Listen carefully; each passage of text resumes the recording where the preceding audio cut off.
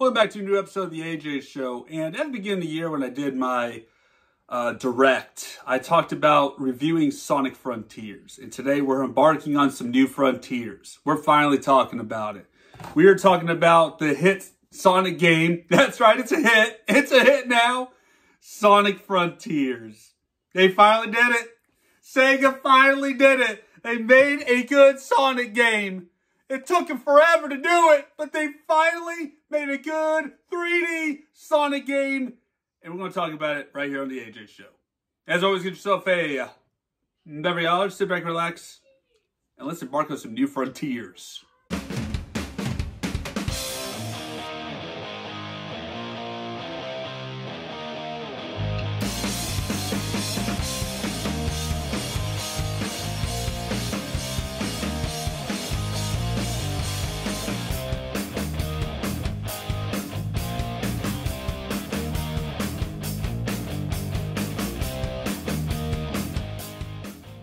Back in the early 90s, everybody was talking about Mario. But also, speeding along the way is the blue blur himself, Sonic the Hedgehog, and people were talking about Sonic the Hedgehog in school. And it was just an epic time of the console wars between Sega and Nintendo. And it was just the epic battle. Who was the better mascot? Was it Mario? Was it Sonic the Hedgehog? Well, I was more of a Sonic fan than Mario. I do enjoy my Mario games, and I still consider Super Mario World as my personal top favorite in the Mario series. Maybe we should talk about Mario sometime on the AJ show. We'll do that sometime down the road.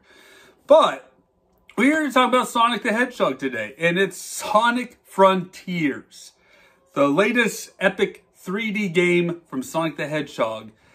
But it's been some time, some time since the release of Mania it forces that we finally got a new trailer for a new upcoming Sonic game in 2021, displaying a brand new open world adventure. So we thought it was open world. It's more like open zone adventure. That's how they describe in the magazines. If you read the articles and such, yeah, there's some magazines out there.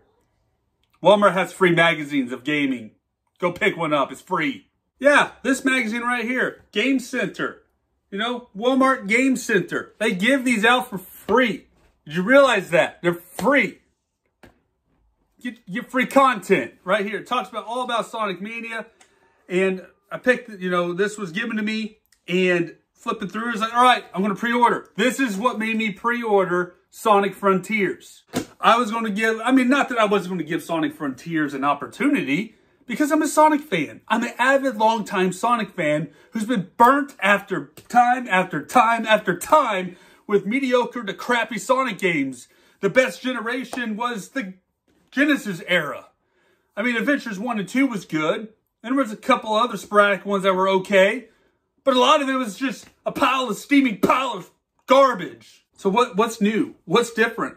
What's the story of Sonic Frontiers? So Dr. Eggman travels to an abandoned Starfall Islands to steal the technology secrets created by the ancient creatures related to chaos. That's right.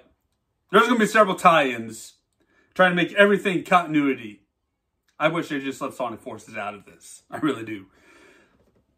When he uploads his artificial intelligence unit Sage into a portal, several robotic defenses units are summoned. Detecting a threat signature, Sage seizes, hijacks a portal, and initiates a protocol protection, dragging Eggman into an artificial dimension called cyberspace leading Sonic, Tails, and Amy to investigate the activity that has drawn the Chaos Emeralds to these islands.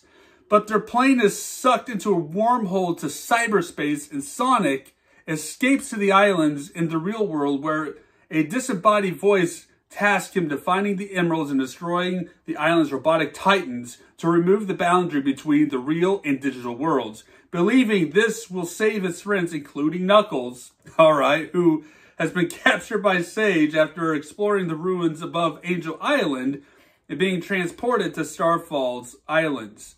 Sonic releases their digital forms from the cages created by Sage, who works to free Eggman from cyberspace. Destroying the cages causes Sonic's body to become increasingly corrupted. Sage cautions Sonic to leave, influencing the island's mechanical Guardians and Titans to attack him, but grows to sympathize with him while observing his interactions with his friends and forms a mutual bond with Eggman. And Sonic and his friends learn about the history of the ancients who are revealed to be extraterrestrial race whose planet was destroyed by... Yeah, the final boss you encounter is named The End.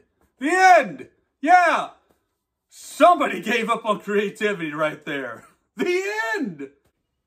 The End is an all-powerful entity. The ancients used the Chaos Emeralds to escape and were drawn to the Master Emerald on Earth and settled on the Starfall Islands. But the End followed and started to wipe out their new civilization. The ancients built the Titans to seal the End within cyberspace, with their essence remaining within their accessories, the Koco, which become inert once Sonic and his friends help them fulfill their final desires in life.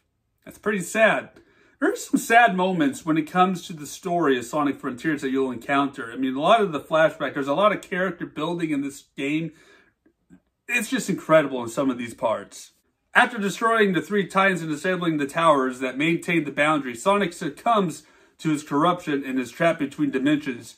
Released with Sonic's friends and Eggman, the entity guiding Sonic reveals itself to be the end, which attacks Earth using the last Titan Supreme. Sonic's friends purge the corruption from Sonic by sacrificing the physical forms, while Sage persuades Eggman to help Sonic collect the scattered Chaos Emerald. Super Sonic confronts the end and forces it to abandon Supreme.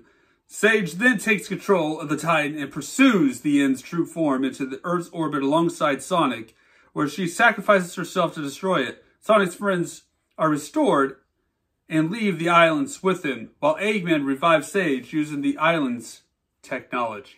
Sonic Frontiers is what's classified as an open zone action platformer. Not open world. Let's make that clear. It's open zone. Even though people compared it to Breath of the Wild, it's not the same. It is really not the same. It is nice to just be able to run around and the open zones. They got like all these railings and platforms and such that you can travel through, stuff to collect, enemies to fight throughout the land.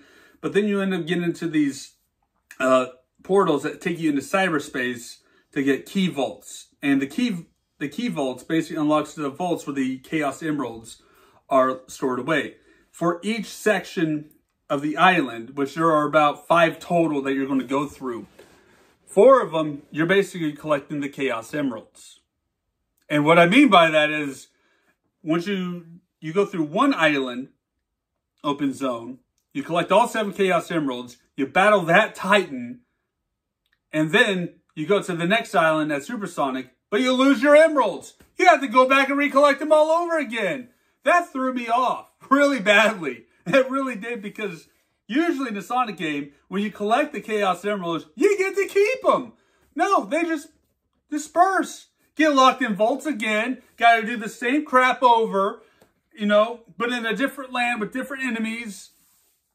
It's just crazy, but I love it. I absolutely love it. And the enemies come in different varieties. Large, massive enemies. You have to figure out the strategy on how to take them down. You get little ones there are just so many variations of enemies to take down in these open zone areas.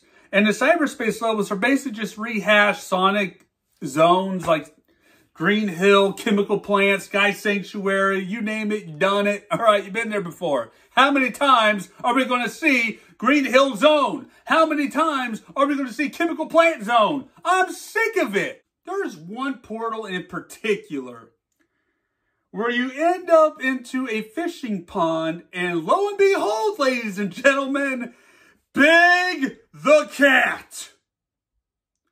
Big the Cat. Oh, don't get me started with Big the Cat. Actually, Big the Cat in this game, we became best friends. Seriously. A fishing game and a Sonic game. Now, they had fishing games in the Legend of Zelda series where you can kill fish, like in Twilight Princess and Ocarina of Time. But fishing in a Sonic game? I actually enjoyed this part. There's people out there that are like, man, I don't like this part. But there, but for me, I enjoyed it. The fishing vibes soundtrack to this section is just amazing. I downloaded it on my phone and I'll listen to fishing vibes while driving on the road. And I'm like, man, it's just so calming and peaceful. And it is like the best soundtrack ever for a Sonic game. I mean, the soundtrack overall is pretty decent, especially when you get the, you know, the tight boss music. Each of them had different lyrical rocking soundtracks, you know, and it's fantastic across the board. I downloaded all those for sure. I definitely did. But fishing vibes. Oh, son, come on! What a great moment to relax with fishing vibes and Big the Cat. Oh, Big the Cat, you redeemed yourself, my friend. And it's really a really a good time. I don't know what Big is feeding this fish or what fishing ponds, but there are some ginormous fish and there's some questionable aquatic creatures in this thing. And there's a lot of odds and in garbage that's in this pond. I, I don't know, but hey, you're in a cyberspace fishing pond with Big the Cat. How did they get stuck in this mess? How did they get here in the first place? That's a big mystery. I want to know. Big's Fishing Pond is definitely a must place to visit. If you're struggling with some of these other portals to get keys and gears and such, Big's Fishing Pond's got you covered, ladies and gentlemen. You just gotta go find the fishing coins because apparently it costs money to fish. Big, what's going on here? Oh, hey, Sonic. You come here to fish too? Big, what are you doing here? How did you get here? What even is here? I don't know. I was looking for fishing spots and wound up here. So now I'm fishing. The character development in this game is just simply amazing. The stories the, that's being told, of course, it is Ian Flynn who writes the Sonic comics right now with IDW. He's the writer, the story writer for this game. And it's just a fantastic story overall. And they really, really try hard to make all the games continuity for some reason. I don't know why. I really don't. Because there's some games you could do without. But it is what it is. Sonic is just sporadically all over the place for all these years. And what really gets character developed is the relationship between Sage, the AI that Dr. Eggman created. They basically create this father-daughter bond. And especially at the end of the scene where you see Dr. Eggman just being torn inside, you know, because he knows what has to be done. And he reluctantly joins up with Sonic and tells Sage to go fulfill her mission. But he chokes up. And then at the end, when Sage sacrifices herself, Dr. Eggman is just left sad. Eggman is the one that gets such character development that you start to sympathize for the maniac tyrant known as Dr. Eggman. All we did was chase it out of its shell. It's retreating into space to regain its true form. Even Supersonic won't be able to stop it. I know what I must do. I must leave you. I understand. Go. Fulfill your function.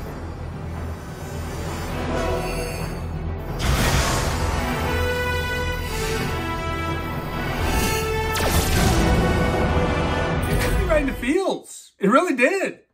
Dr. Eggman's story in this one, he takes a back seat as the villain in this one. He's not really the villain. He attempts to be, but he's not the villain in this game. It's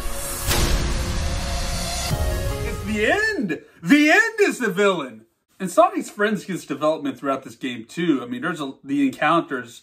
Like there's a moment where Tails feels like he's been such a burden to Sonic after all these years and isn't as good as him to take care of himself on his own even referencing some previous game like Sonic Forces, where basically Tails has a mental breakdown at one point. Just weird. But, you know, but Sonic reminds Tails on how good he really is and that he isn't a burden. And then the, you know, the, the bromance between Knuckles and Sonic is really laid in thick. Amy is not this, you know, love-struck pink hedgehog anymore. She just wants to share her love with the world, you know? Like, for, like helping people and, and such. So Amy really took a big, huge uh, development as well through this game. The battle mechanics in this game, it's button combos, button mashing, whatever you want to call it. It's good. It- It's very good. There's a lot of different styles of combat that you could do. A lot of learning. There's a learning curve to some of the stuff when it comes to the combinations. But really, all I do is just really mash the buttons. It gets the job done, really, with some of these battles. But by far, this is one of the best 3D Sonic games that Sega has finally did. They have finally did it. They finally made a great 3D Sonic game. And, you know, the possibilities is endless now. This has really set the pace and tone for the future of Sonic games. And I'm really excited to see where this is going to take us in the future with Sonic the Hedgehog. So, with that being said, thank you guys so much for watching. Y'all stay safe out there and take care.